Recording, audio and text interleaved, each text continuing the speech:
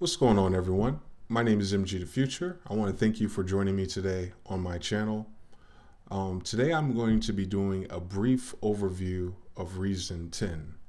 To provide context for that, um, I've used Reason 1.0 a very long time ago, and I kind of followed its progress up to 2, 2.5 especially. That was a major update for a lot of the people from my producer peer group.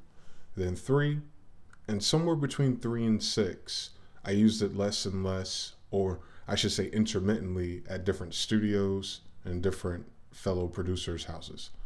So, for me to jump in on it at this particular point in time, I was very surprised and welcome to all of the new features that I missed out on over all of those years. Because Reason 10 is finally in the stage or in the vision that I had for it when I was using it regularly or trying to learn it. Reason 10 is one of those first programs that had the quality, the GUI, and the sound set that kind of made it easy for a lot of people to gravitate to. However, on the flip side of that, for me as a beginner at that time, some of the limitations that it had made it something that I didn't use all the time as a sample based hip hop producer, um, especially getting audio tracks into it or the lack thereof especially some of the tricks you have to use with things like NNXT to chop samples, which I didn't know then, but I completely understand now. So there's a lot of little nuanced things about that, and I'm very excited to start doing videos to kind of offer that to the Reason and Propellerheads community because I know in modern times there's a lot of techniques that I've taught in other platforms and in other programs that it doesn't seem to be available to Reason users. And I have a couple of my subscribers who asked me to do just that. So here I am with a full working copy of Reason 10. Um, you can check it out their websites, of course, propellerheads.se. They're currently having a sale right now if you want to grab it for $100 less than usual, as well as their rack extensions, which are all on sale right now if you need particular sounds or a palette to help you create. Now, as far as these rack extensions, I think that's really cool that they did that. But then they opened up their platform and allowed us to add VSTs. That's one that was most interesting to me because then it was like, hey, I could really use Reason to some capacity in my workflow, even if it's something as simple as creating custom sounds for kits or creating custom sounds to sample into my hardware. So I'm gonna go ahead and open up Reason 10. They're doing something different, um, making you log in to launch the program. I don't know if there is a mechanism around that. I guess that's under more options, but I'll check that out later because I'm assuming they have to if you have an offline studio machine. So I'm going to log in and just kind of give you guys a brief overview. This might be more nostalgic for some of us who used to use it over 10 years ago or any, you know, variation of. If you stumbled across my video and it's your first time seeing Reason, I'm going to cover some of the things to kind of get everyone up to speed if you've used other software. So when you look at Reason like this, and it took me a few minutes to get used to earlier, I was like, yo, there's so much going on, but not really. Do not let it intimidate you. They've actually made it way more aesthetically pleasing and easier to navigate, especially with the windows if you have multiple multiple monitor support. I'm on an iMac, so I don't, not yet at least. Someone focus on one element at a time to get, you know, everyone familiar. So this is the sequencer area. Anytime you create a new track in Reason, it behaves just like any other program. They're going to show up down here with the mute, solo, arm to record, etc. Across the top is going to be your snap, which is good for creating pattern blocks or sequences. And they have the divisions we expect to see in all of our programs. Or if you're trying to J-Dilla it out, you can turn snap off. Um, they have edit mode, which will engage the clip that you record with your MIDI controller, or if you're drawing clips, um, you would pretty much recall the piano roll feature. Then there's the tools to move around, erase, draw clips, extend clips, etc. They have a dedicated automation lane. They have a dedicated block lane, which allows you to create blocks or scenes to test out different ideas. I'm a linear composer, so I'm going to be using the song mode. Across the bottom, of course, you have your quantize on record, which makes it sound like I know what I'm doing when I actually do drums. then you got the different times, you know, bar, bars and beats and navigation, a very dope metronome and a pre-click if you need it. um, your transport, and all of that. This is this particular main uh, view. You can even pull up a MIDI or on-screen MIDI controller if you need it, which I think is dope. That wasn't there before. You pull up the Groove Pool, and you know I'm gonna have to do some videos on that because I'm one of those guys who are big on using grooves from references to make our music sound more livelier and having a vibe. So once I figure that out in this version, I'll definitely be putting out micro content for these features that apply to hip hop producers, lo-fi producers, and even you know some of our EDM and trap people as well. Um, so that's that. That's the sequencer view, and across the bottom is the permanent transport. Um, the next logical thing to jump into is going to be rack view. and this is probably the most intimidated intimidating view for a person who's never seen Reason before, or like when I started, I've never been in a studio in the capacity of hooking up things. So rack view on this template is empty with four sends, very familiar. And their sends are some beautiful reverbs, plate, room, and echo, very similar to the Roland joints and two delays, I guess. Um, and this is all routable and reroutable. And that's what made Reason unique and ahead of its time. It also makes it very powerful when creating custom patches. And also, we used to manipulate it in such a way where we would bypass the Reason mixer and go straight to our converters. I don't know if I'm going to do that because it's not necessary now with their new mixer. But um, if you hit tab, you unlock a real monster. Now, back in the day, we would kind of have to manage this a lot more, especially for like sidechain and CV gating the ARPs. And um, forgive me if I'm talking about things you might not be familiar with, but basically you route and hook up everything.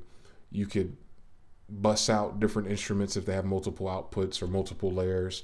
You have full control of your sound, which this makes this very um, desirable. However, as a beginner, it was daunting. So with this being rack view, every instrument you use or every uh, track that you use creates a new element and then you chain them together. So I'm going to show you a brief example of that. I'm going to double click on instruments here and I'm going to navigate to what kind of sounds I want. They have quite a few new ones in this particular version that I was getting familiar with. And also you got our VSTs. Now, if you've been following me on my channel, I went trigger happy and freed up almost 400 gigs of space in doing that, I accidentally deleted my Omnisphere library. so I can't open Omnisphere right now. Um, uh, we'll do Serum. So I believe we could take a screenshot or image and put it here to represent our plugins. But of course, there's a little open button here on this module. When you flip it over, you're going to see it's routed to this particular device, which is our audio or mix device which gets routed to the mixer, which I'll show you in a second. And then you have options for gating and CV if you're into that modular stuff. Um, and you also do audio in, which is interesting because I think you can use Serum effects that way. Anyway, I'm going to expand this. I am going to open up Serum and it'll bring Serum up. The first time in my life that one of my dreams have come true in terms of audio software, which would be Reason. So you know it it changes things for a lot of people that we can do this now.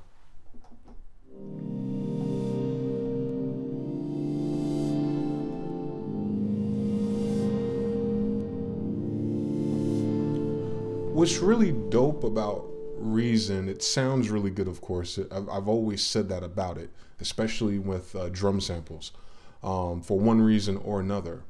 However, now that we have these kind of things in here and we can create combinations of instruments, that's going to take things to another level.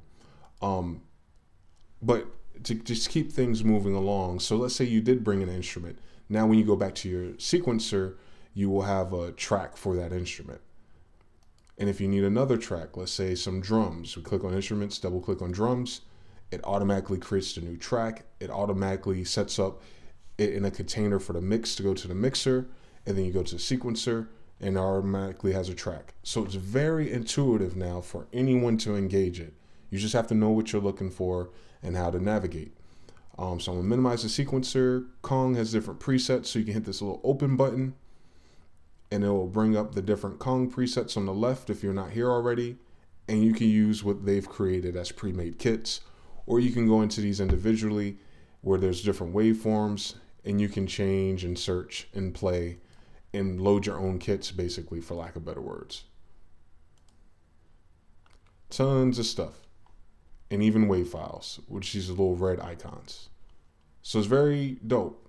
Also, it's one of the uh, instruments, once I learned how to flip it and access that, where you actually have drum synthesizers, a baby version of NNXT, and um, different effects and things to really allow you to get prolific at drum design.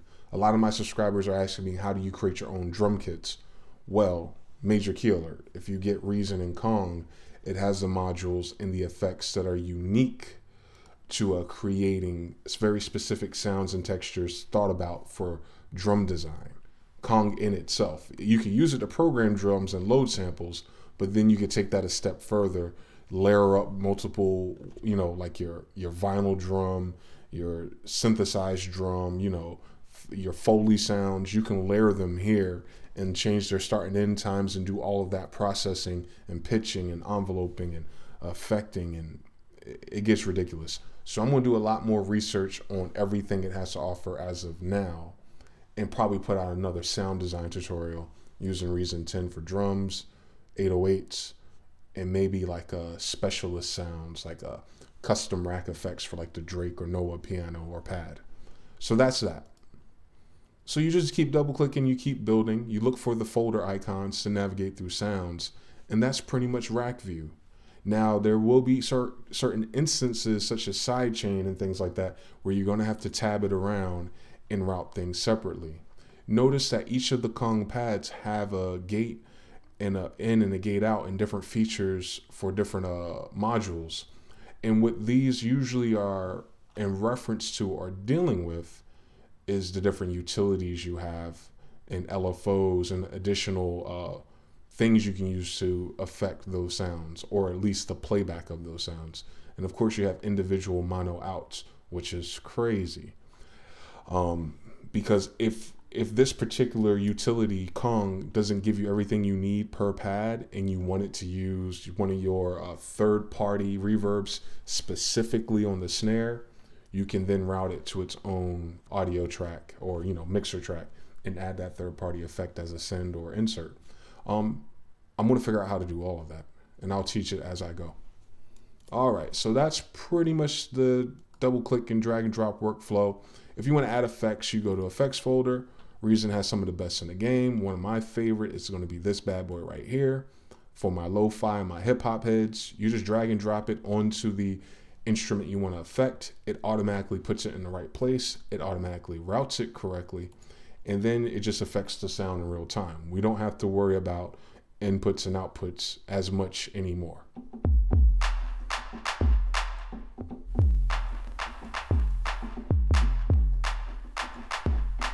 So a lot of my people were wondering about like the Goodhertz plugins and um, SP404. This particular module emulates different things to allow us that kind of texture.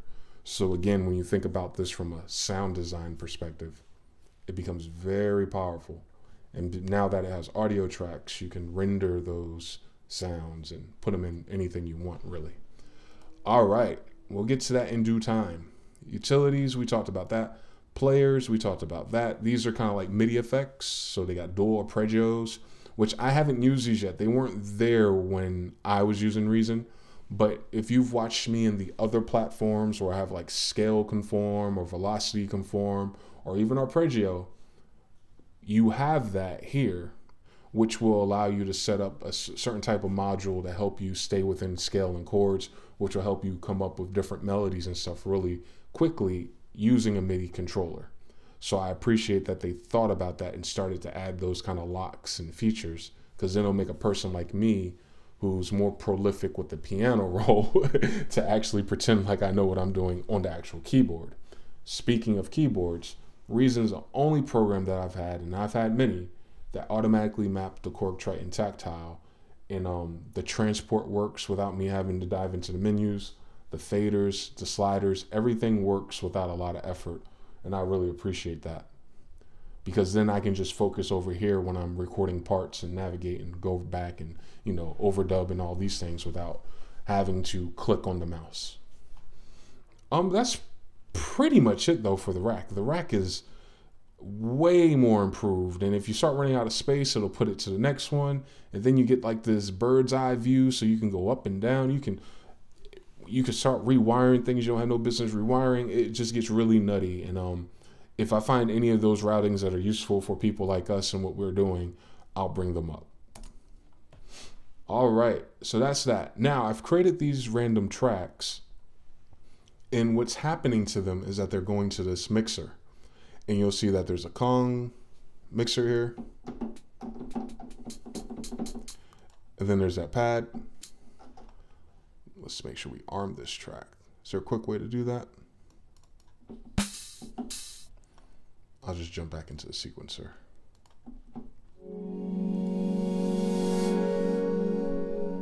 Whew. Now this is going to be interesting because it has so much like it's a real channel strip. You can flip the effects order that are pre-made into this channel strip. You have a built-in compressor. Um, and Reason has separate rack compressors too, but just on your channel strip, you don't necessarily have to do that because they thought of us like some people just want to load the instance of what they're trying to play and go. But if you want to touch it up, you do have the strip compressor, the strip filters, the strip EQ, and then the sends, just tons of stuff. I'm not sure what these are yet, these rotaries. I see what this is. So these are master inserts. I'll figure this section out. I'll read it in more detail later. And then you got the eight sends and our four sends that are in our rack earlier, which are these guys at the top. You'll notice that they're already there. So on this particular sound, all I have to do is enable that plate reverb by turning it blue. or that delay because then we'll hear it. And adjust the levels and things like that. Everything comes to life. You can then change the presets on those modules or create your own modules. It looks like it goes at least up to eight. And that's with this mixer. Like I said, you can unwire everything and add way more strings of effects. They have something called Combinator, which allows you to self-contain your instrument and all the routing and effects into one easy uh, controllable module so you can minimize it and just have it on one mixer track if you want to. So there's levels to it, but this addition, which I never used or had in previous versions, is nutty.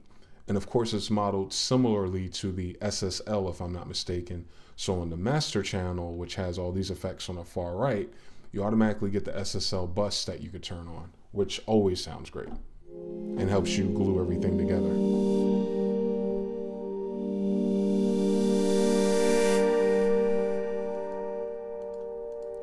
Just sounds good.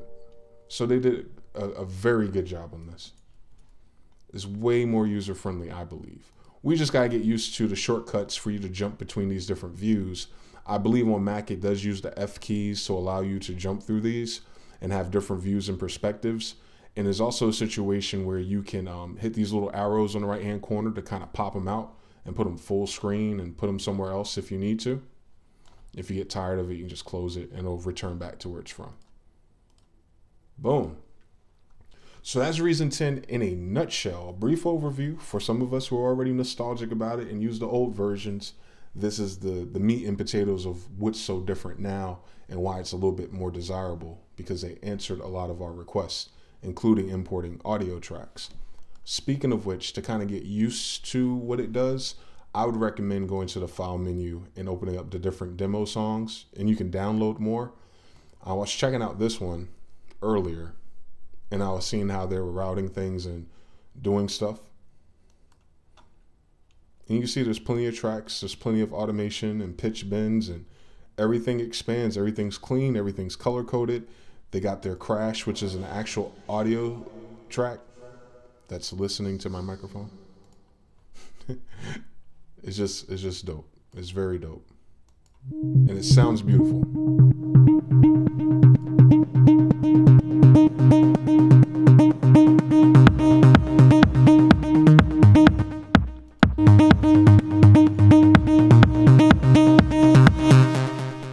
Mixer is a full mixer too. Like outside of us reconnecting those wires and everything we used to have to do, you can set up your buses here. You can create buses and effects or create your actual tracks and everything from the mixer like you would any other program. So they they they uh they figured it out. All right. So let me do something a little bit more interesting. Let me show you guys the last time I used Reason and how terrible I was. Um, I have a folder somewhere, and I think so. I started keeping track of music 2002 to 2003. Um, Reason could be in this folder. Not yet. 2004, maybe. Maybe. All right, 2005, I gotta have finished projects. Hmm. I do. I just don't know what they're called. I know when I start making a lot of them, though, because Reason reminds me of a particular time. Here, 2006, I use it a whole lot. So I'm gonna open up Black Moon. It's a French sample. It's a familiar sample, but what we used to have to do back in the version of Reason where this was created was use recycle to create loops or slice marks and load it into Dr. Rex. And then I would have to use multiple Dr. Rexes for different parts of the sample. Way back then, people didn't give me the context of using an NNXT to chop samples, which, like I said, I'm going to do a video on. So now, with the audio tracks, even and the integration between the new Octorex and things, I don't have to make beats like this no more, but I just want to kind of show you where my mind was at back then, almost over 10 years ago. So I had this happen earlier on a different project. There's no sound. That no sound feature is a routing issue that I don't know how to automatically fix. And if you have old projects and you used to use Reason, nine out of ten you're gonna run into this problem too. So I'm gonna show you how to fix it. Um, what was I gonna say before that? Let's fix it first. So it had the scream distortion unit. So this particular beat was made around Reason 2.5 or 3, right? One of those eras. Yeah, I can tell by the effects I'm using. It wasn't a, much later version than that. It had this mastering effect when it came out. This is what's not being sent to the mixer, although mixer is here. So I'm going to turn this around using my tab key.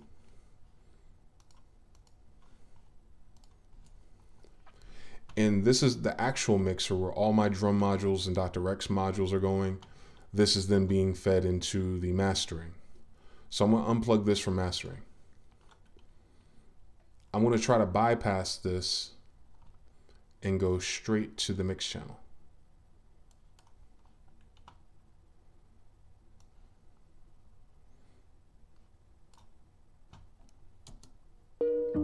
We got sound. So if you open up an old Reason project and you did have the mastering combinator or any combinators part of your mixer setup and you're not hearing anything, until I figure out exactly why that is, just bypass it from the Reasons mixer that we used to use back in the day and go straight to the uh, the container for your mixer, which called mix, which looks like this guy right here. Which in this context of this old beat it took everything and put it in one track rather than all these elements being individual tracks, which I can figure out and route later if I want to.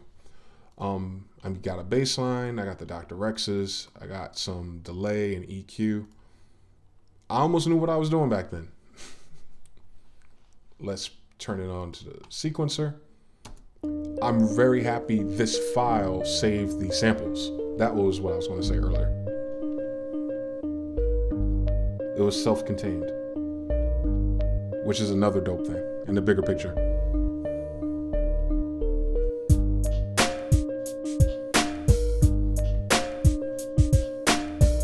Let's go to this mixer. Come on.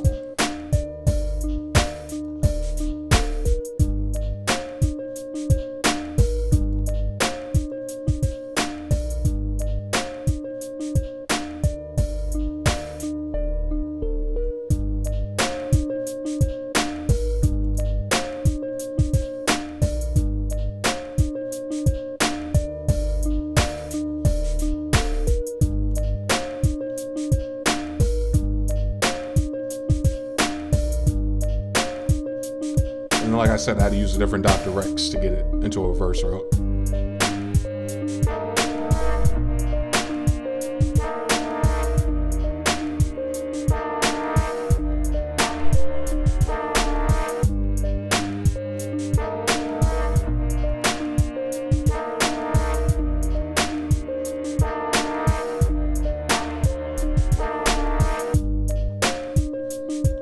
that felt good listening to that over 10 years ago. That's crazy.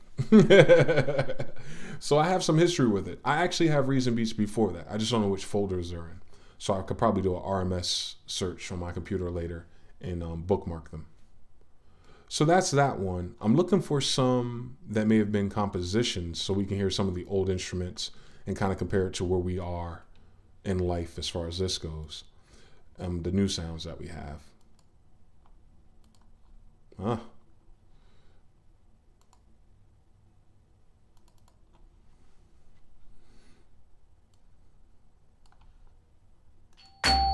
Yes, I do have one.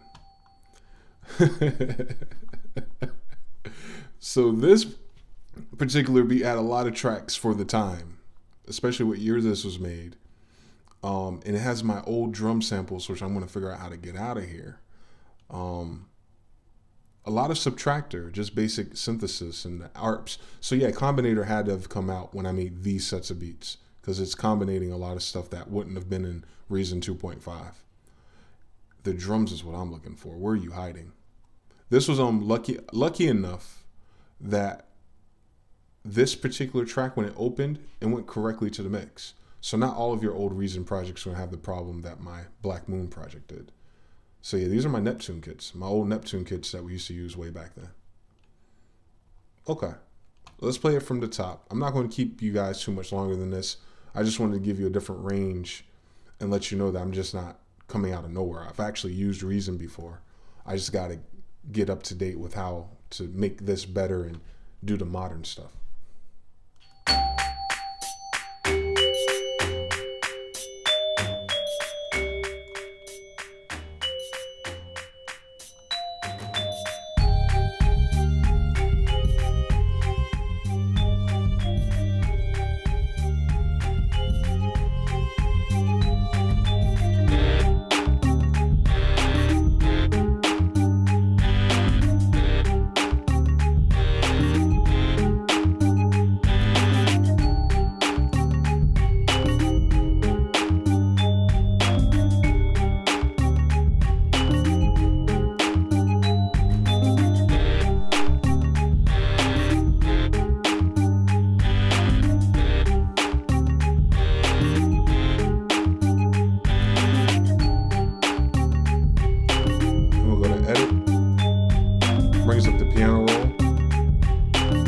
Have to scroll across the bottom like other programs.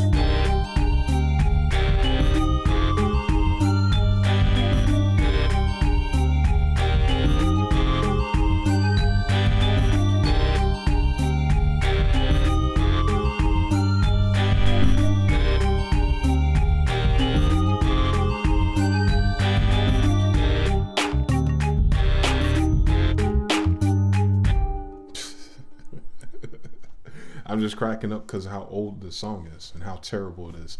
But um, yeah, man, I'm feeling super nostalgic this month, man. Um, 2017, the ending of it is pretty epic. I mean, we got FL Studio on Mac. We got Reason 10 with the open ended. You know, we can put anything in it we want. We can take anything out that we want out with the new export and audio features. Um, Harrison Mixbus reminds me of Cool Edit Pro and iZotope RX is Edit Pro with all those features just in the editor window. Like, I, I really went way back as far as my current setup and workflow. And um, my goal is, like I said, to help out the Reason and Propellerheads community and also to show these concepts to all the communities because I'm going to try to teach it in a universal and general way. But anyway, thank you for joining me tonight. Um, if you have any comments or questions or concerns, let me know in the box below. If you're already a Reason user or used to be a Reason user, and there's any particular topic you want me to consider in future upcoming videos, definitely let me know. This would be the time to do it. Um, if you're not a subscriber, definitely subscribe. Thank you. Until next time, peace.